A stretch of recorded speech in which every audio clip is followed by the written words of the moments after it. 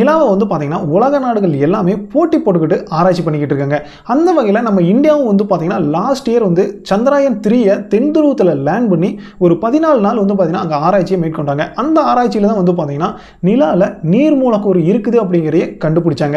ஏன்னா ஆல்ரெடி வந்து பார்த்தீங்கன்னா நம்ம சந்திராயன் ஒன்றே அங்கே வந்து நீர் மூலக்கூறு இருக்குது அப்படிங்கிறத கண்டுபிடிச்சிட்டாங்க. இருந்தாலும் நம்ம ரோவர் போய் அங்கே இறங்கி ரிசர்ச் பண்ணி அதை வந்து பார்த்தீங்கன்னா நம்ம பூமிக்கு வந்து அனுப்பி வச்சுது. அதுக்கப்புறம் வந்து பார்த்தீங்கன்னா இதுக்கு முன்னாடி சொல்ல போனால் நைன்டீன் சிக்ஸ்டி நைனில் வந்து பார்த்தீங்கன்னா நிலாவில் ஃபஸ்ட்டு ஃபஸ்ட்டு போய் தரையிறங்கினாங்க. இந்த மாதிரி நிறையா விஷயங்கள் இருக்குது இப்போ புதுசாக ஒரு விஷயத்தை வந்து சயின்டிஸ்ட் வந்து சொல்லியிருக்காங்க. என்ன அப்படின்னா நிலாவில் வந்து குகை இருக்குது அப்படிங்கிறத.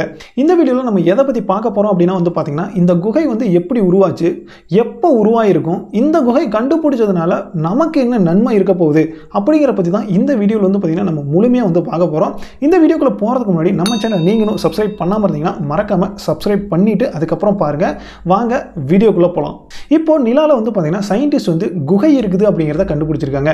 இதை எப்படா கண்டுபிடிச்சாங்க அப்படின்னு சொல்லி கேட்டால் நாசா வந்து பார்த்திங்கன்னா எல்ஆர்ஓ அதாவது அப்படிங்கிற ஒரு ஆர்பிட்டரை டூ தௌசண்ட் நைனில் வந்து அனுப்புகிறாங்க இந்த எல்ஆர்ஓ ஆர்பிட்டர் வந்து என்ன பண்ணுது அப்படின்னா அதாவது நிலவை வந்து பார்த்திங்கன்னா மேற்பரப்பை த்ரீ டி இமேஜாக பிடிச்சு இங்கே வந்து பூமிக்கு வந்து அனுப்பி வைக்குது. இந்த எல்ஆர்ஓ ஆர்பிட்டர் அப்படின்னு சொன்னோடனே நமக்கு ஒன்று ஞாபகம் வருது. என்ன அப்படின்னா நம்மளோட விக்ரம் லேண்டர் இருக்குது பார்த்தீங்களா சந்திரயான் டூ அனுப்பும்போது விக்ரம் லேண்டர் கீழே போய் இருக்கு கொஞ்ச நேரத்துக்கு முன்னாடி வந்து பார்த்தீங்கன்னா கட்டுப்பாட்டை இழந்து அங்கே வெடிச்சு அதாவது கீழே விழுந்து வெடிச்சு செதறிடுச்சு அந்த இமேஜை வந்து பார்த்தீங்கன்னா இந்த எல்ஆர்ஓ ஆர்பிட்டர் தான் வந்து பார்த்தீங்கன்னா கண்டுபிடிச்சி கொடுத்தது எப்போ? டூ தௌசண்ட் நைன்டீனில் இந்த எல்ஆர்ஓ ஆர்பிட்டர் தான் வந்து பார்த்தீங்கன்னா இப்போ அந்த த்ரீ டி இமேஜ் மூலியமாக சயின்டிஸ்ட் வந்து பார்த்தீங்கன்னா குகை இருக்குது அப்படிங்கிறத கண்டுபிடிக்கிறதுக்கு இதுதான் வந்து பார்த்தீங்கன்னா ஹெல்ப் பண்ணியிருக்குது ஓகே எப்படா கண்டுபிடிச்சாங்க அப்படின்னு சொல்லி பார்க்கும்போது நிலவில் வந்து பார்த்தீங்கன்னா நிறைய பெரிய கிரேட்டர்ஸ் அதாவது பெரிய பெரிய குழிகள் வந்து பார்த்தீங்கன்னா நிறையா இருக்கும். அந்த வகையில் இரநூறுக்கும் மேலே குழிகள் இருக்குது அப்படிங்கிறாங்க. அந்த இரநூறு குழியில் வந்து பார்த்திங்கன்னா ஒரு பதினாறு குழி மட்டும் கொஞ்சம் டிஃப்ரெண்ட்டாக தெரியுது. அது வந்து ஒரு வேளை குகையாக இருக்குமோ அப்படிங்கிறத அவங்க வந்து பார்க்குறாங்க அப்படி கண்டுபிடிச்சதெல்லாம் வந்து பார்த்திங்கன்னா அது வந்து குகை தான் அப்படிங்கிறத ஸ்டடி மூலிமா உறுதி பண்ணுறாங்க அதுக்கப்புறம் இந்த குகை மூலிமா நமக்கு என்னடா நன்மை அப்படின்னு சொல்லி கேட்கும்போது நிலாவில் வந்து பார்த்திங்கன்னா பகல் நேரத்தில் நூற்றி இருபத்தி ஏழு டிகிரி செல்சியஸ் வந்து வெப்பம் இருக்கும். கிட்டத்தட்ட வந்து பார்த்தீங்கன்னா நீர் நீரோட கொதிநிலையே நூறு டிகிரி செல்சியஸ் தான். அதே மாதிரி அப்படியே ஆப்போசிட்டாக நைட்டு வந்து பார்க்கும்போது மைனஸ் நூற்றி எழுபத்தி மூணு டிகிரி செல்சியஸ் வந்து பார்த்திங்கன்னா இருக்கும் அப்படிங்கிறாங்க. கிட்டத்தட்ட நம்ம பனியாகி விரைச்சி போயிடும் அந்த கண்டிஷன் தான்.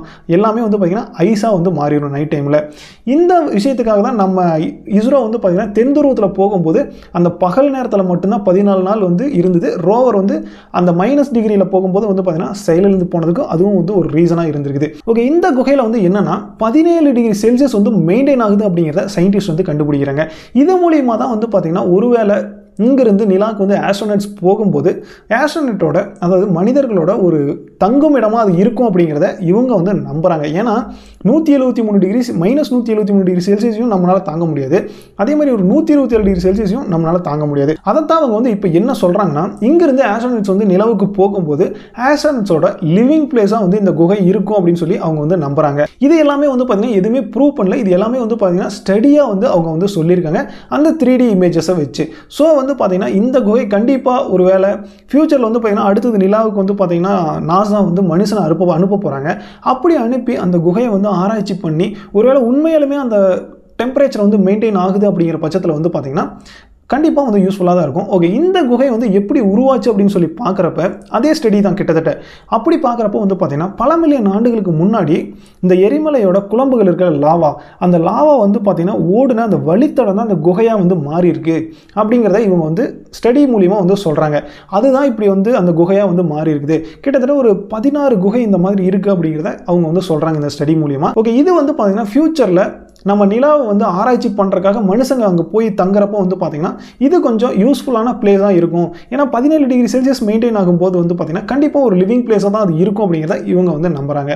ஓகே இந்த வீடியோ உங்களுக்கு கண்டிப்பாக பிடிச்சிருக்கும் அப்படின்னு சொல்லி நினைக்கிறேன். இந்த வீடியோ உங்களுக்கு பிடிச்சிருந்தோம்னா மறக்காமல் ஒரு லைக்கை தட்டி விட்டுருங்க அதுக்கப்புறம் அடுத்து இன்னொரு இன்ட்ரெஸ்டிங்கான வீடியோ உங்களை சந்திக்கிறேன் டாடா பாய் தேங்க்யூ